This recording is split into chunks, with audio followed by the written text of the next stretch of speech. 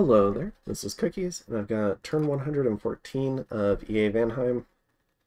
Now, there's a few fights in here. I don't think any of them were super important, and I just wanted to come back and re-record this one because didn't have the, the best audio, and it was also kind of long for what it was. So let's go ahead and dive into it. Transmuted Fire, got some gold, got some death gems, lost a vampire, which really sucks, um, especially given how reduced our blood eco is.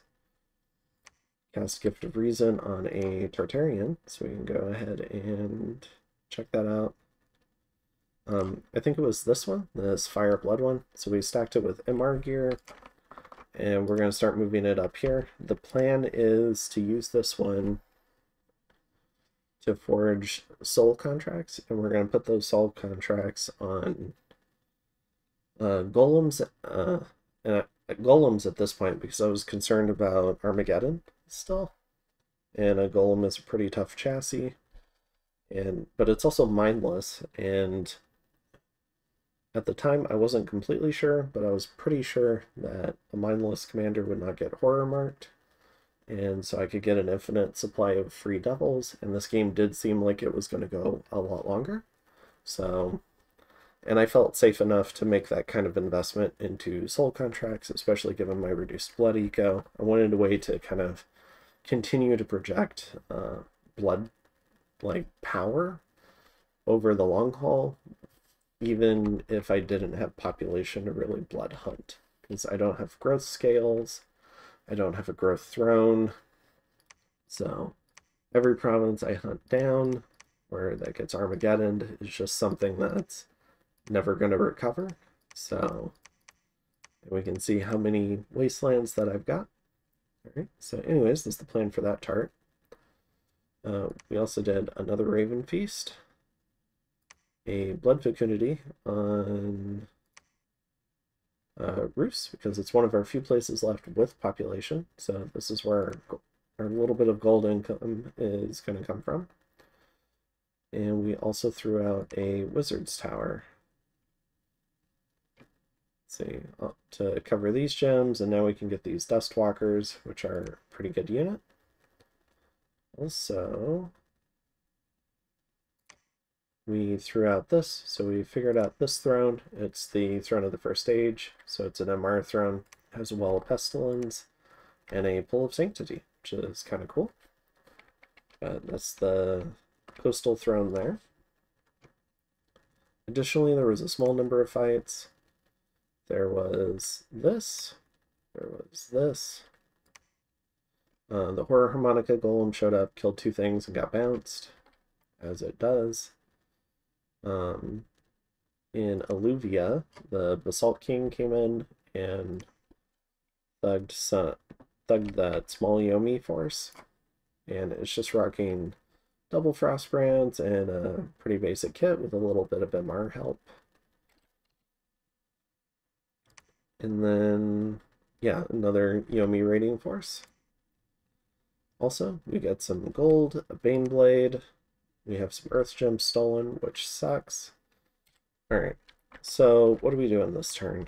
We've got a little bit of raiding going on.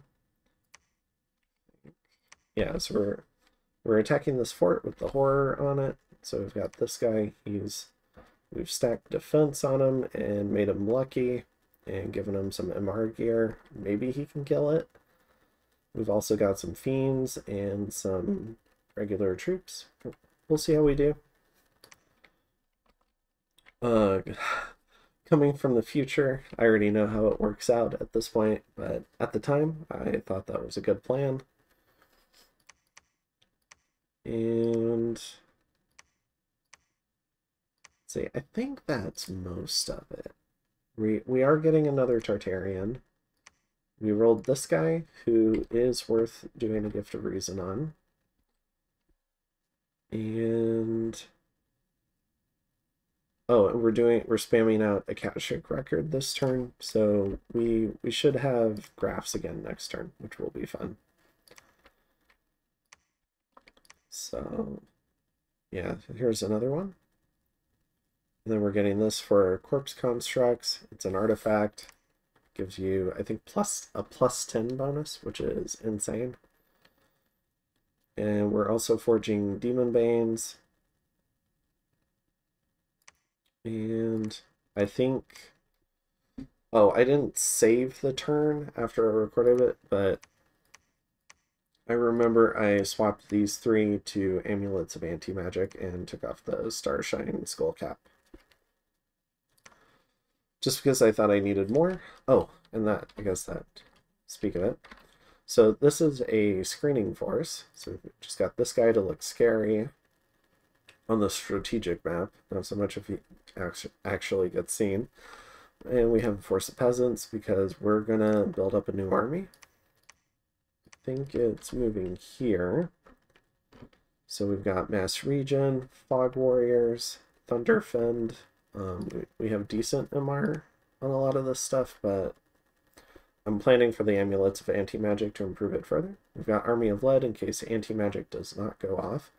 And some Weapons of Sharpness spam. This is his kit. We've got a Petrify Caster. In fact, we've got a couple of them that are going to go and this this whole army is designed around killing the Kraken, if possible. So Petrify plays part of that. Weapons of Sharpness plays a part in that. And MR and Cold Resist also plays a part in that. Additionally, we've got this thug, and we've got Frostfiend to help with the, you know, any frozen heart spam the Kraken might feel like doing, and we've got anti-magic. And so this army is going to go here, here, this, and we're going to try and have screening forces again. And it's going to go here and then to Alluvia. Now, there is still this giant army from Yomi, um, but I think a throne rush is a little less likely just because it looks like TNN's making some inroads and it looks like Atlantis is making some inroads. So hopefully they don't feel like attacking me, but I think I can defend against 1500 Oni, given there's only a few Dai Oni there with what I've got here. Especially given the number of super combatants and like the amount of magic I could put out. I think I could win, or I could definitely make it take a while. So I'm feeling a little bit safer, so I'm going to go ahead and strike out. And I believe that's it for this turn. So have a good one. See you in turn 115.